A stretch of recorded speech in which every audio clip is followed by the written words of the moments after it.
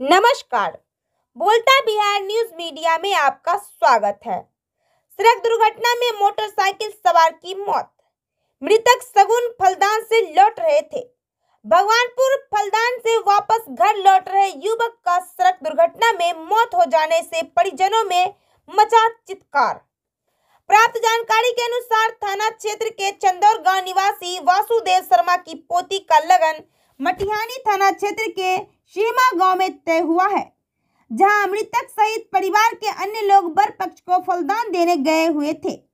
फलदान चढ़ाने के उपरांत मोटरसाइकिल से घर वापस लौट रहे उक्त गाँव निवासी वासुदेव शर्मा के 24 वर्षीय पुत्र जीतन शर्मा तिलरथ मोड़ सादपुर के पास स्थित डायवर्सन से टकरा गया, जिससे उसकी मौत मौके पर ही हो गई।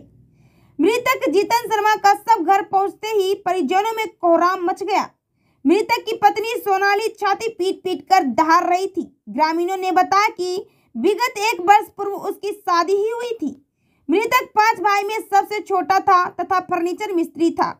वृद्ध पिता वासुदेव शर्मा लकवा ग्रस्त है, जिसे युवा पुत्र के सड़क दुर्घटना में अकाल मृत्यु हो जाने से काफ़ी सदमा पहुँचा है। मृतक का सब घर पहुँचते ही स्थानीय मुखिया अनिल कुमार सिंह पंसस आनंद कांत चौरसिया, सूर्य कला, रामजी फाउंडेशन के सचिव शैलेंद्र कुमार सोनू सहित सैकड़ों लोग मृतक के घर पहुंचकर परिजनों को ढांढस बढ़ाया और शोक संवेदना प्रकट किया। भगवानपुर से विजय भारती की रिपोर्ट, धन्यवाद।